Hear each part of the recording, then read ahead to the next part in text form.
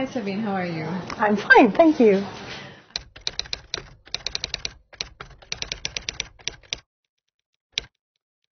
I think Germany has a special history. And if you look at Berlin in the 20s, there it all was the elegance, the glamour. And then it happened what happened, so there was a break. And I think um, that makes Germany a special fashion market. The women, they do have the money, they have a very high esteem and understanding of quality and also sustainability. But I would say what they do not have is uh, a very long history. Um, so it is not like in France, it is not like in, um, in Italy.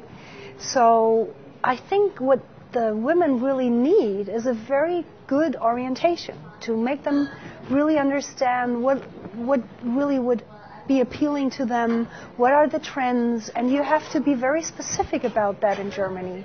I think the German women they love fashion and they discover it more and more. I mean it's it's a very global item now, fashion. And I think there is still a lot of potential of learning and of being passionate about it. So I'm very happy. I'm not in an over mature uh, connoisseur market there.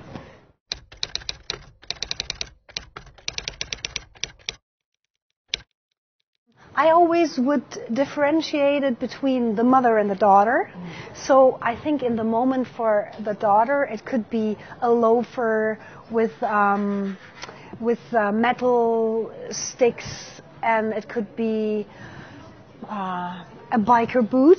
I would say for the mother, it could be the classic Chanel ballerina, or it would be um, uh, high heel from Jimmy Choo. So it, it is very, we have a lot of facets and we we are very aware that we have the daughters and the mothers and I'm very happy about it to be honest.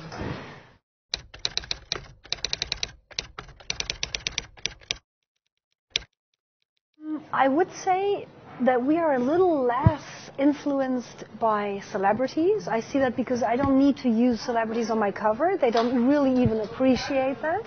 I would say it is a lot about the heritage they have from their mothers and their grandmothers, but still we have that broken history.